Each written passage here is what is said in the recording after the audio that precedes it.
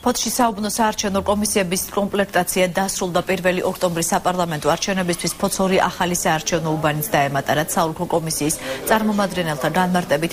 დენველთა ახალ რაიონში ჩასახლებული მოსახლეობის ფოთში ამომრჩევლობა დარეგისტრირებამ განაპირობა.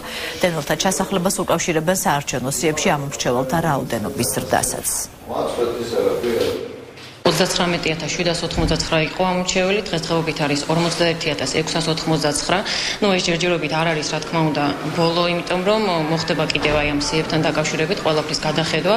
ნუ საბოლოო ვერსია ჩვენ ჩამოგვია, რომელთან და ამათთან ამასთან დაკავშირებით მიმდინარეობს მთელი რიგი ღონისძიებები. რაც შეეხება უბნის კომისიას, მინდა პირველ რიგში გითხრათ, რომ დაემატა ორი უბანი, ეს არის 33-34 უბანი, ახალი რაიონი, სადაც არიან ჩამოსახლებულები, დევნილები და ამასთან დაკავშირებით საჭირო გახდა ამ ორი უბნის